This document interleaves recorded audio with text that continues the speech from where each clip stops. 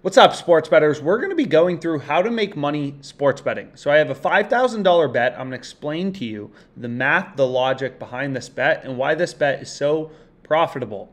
So, the pick we're going with, as you can see right here, is just a positive EV play from OddsJam, right? So, it's a bet with a mathematical profit margin over the sports book, which is known as edge, right? That's known as edge in sports betting. Profitable bets, mathematically profitable bets. So we can see right here in Brooksby versus Lajovic, we have the game spread plus six and a half at minus 110 on Caesars, right? And you can see right here the profit margin is 3.21%. When you're using OddsJam to find your sharp profitable bets, you always want to be looking at the bets in bold with a circle around them, right? Those are the sharp picks that you want to be on. And essentially, if you place, you know, 300 bets from this page. Of course, not every single bet is going to win, but over the course of the long run, you'll make money because all of your bets have an edge, right?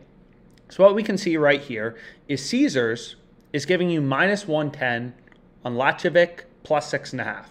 They actually have Brooksby favored at minus six and a half at minus 120. However, lines have been ripping towards Lajovic, and you can see right now for the plus six and a half, DraftKings is pricing this at minus 135. And then Pinnacle, which is the sharpest bookmaker, is pricing this at minus 131.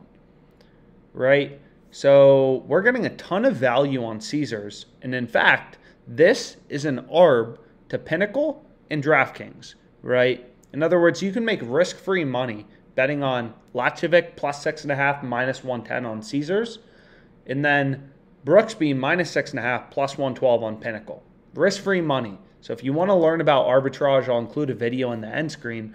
But long story short, this minus 110 is ridiculous value. So I went ahead, I locked it in, as you can see right here. So I've, hopefully, it's been around for a while. Hopefully, you're able to get in on it and tail this sharp US Open bet with me.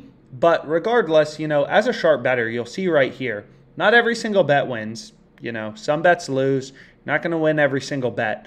But over the course of the long run, if you are positive EV betting and you're placing bets that actually have an edge, you're going to make a lot of money sports betting. So hopefully you enjoyed this video and let's make some freaking money on the US Open.